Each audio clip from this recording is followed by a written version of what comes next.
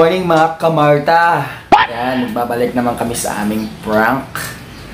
So ngayon guys, ah, ipaprank ko yung tito ko na ako yung dati niyang karelasyon.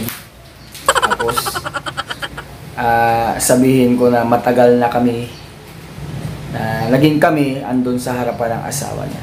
Paano masabi? So, yun guys, abangan nyo yung prank namin. Iksian lang namin kasi baka masuntok ako. so ngayon guys, kung bago ka pa lang sa aking channel, huwag kalimutan mag-like, comment, and subscribe. At pakipindot na rin guys ang bell button para update ka sa lahat ng videos ng aking i-upload. Tara guys!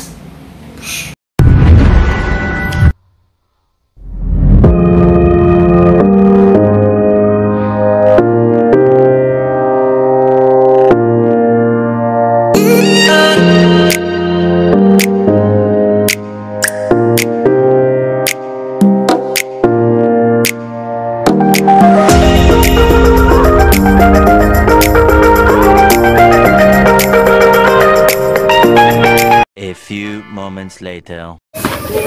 Anak ko kami dito, anak papa. Oo. Sabi mo ba? Kumusta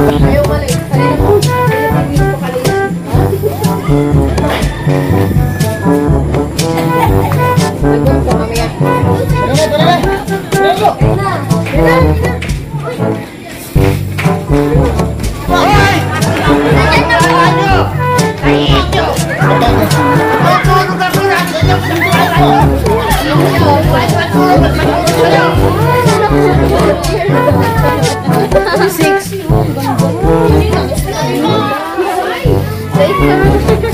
Oh my God, what's that?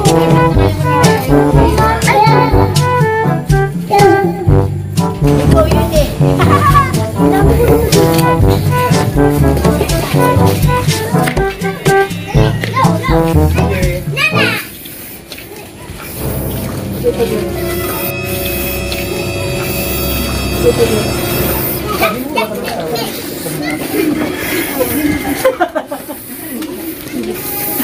Totoo yan.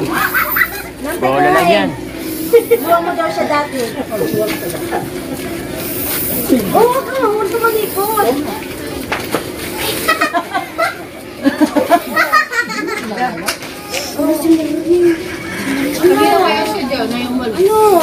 Ngayon, kita na talaga, igitin siya.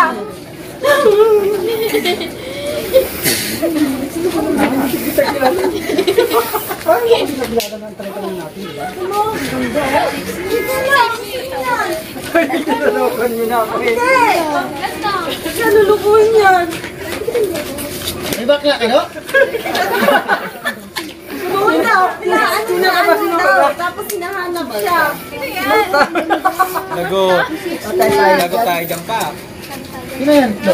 Hindi ko makilala yan eh. Anak, nakita mo na kung paano ako lulukuhin ng ama mo. Ayan. Ako eh. Bakit ang kita na? Wala!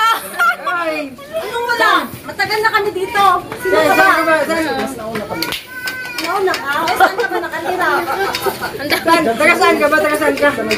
Lakuya ng mga... Sa likod ng simbahan. Tayo tayo dyan. Simbahan pa. Oh, simbahan ka talaga? Pinakilala na sa akin noon. Pinagpalit ka natin. Ha? Huwag mo lang. Basta yung mga anak ko, huwag lang kabayaan.